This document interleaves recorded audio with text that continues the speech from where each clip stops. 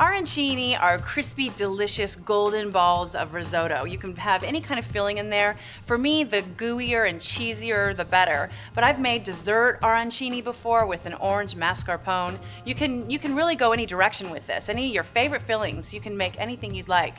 Uh, I love to serve these at parties. It's really, really fun, and they're just so delicious. And that crispness on the outside, I do it with panko breadcrumbs. It's so yummy when you have that delicious gooiness on the inside.